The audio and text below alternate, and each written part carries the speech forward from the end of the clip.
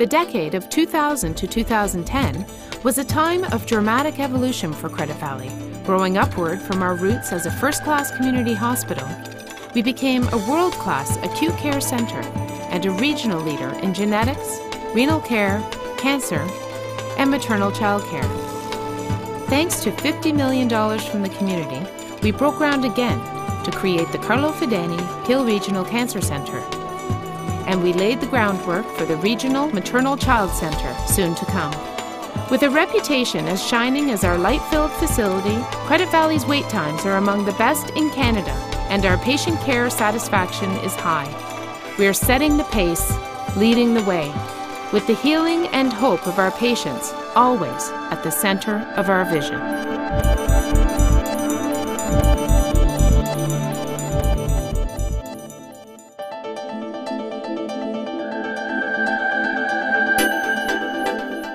As the Credit Valley Hospital moves forward into its next quarter century, we are living our promise. We're known for world renowned medical talent, award winning facilities, and a culture of leadership and innovation. The pride of our founders still shines brightly in our staff, and our community support is strong. Today, we care for more than 1 million people in and around Mississauga. Our population is diverse, with complex healthcare needs.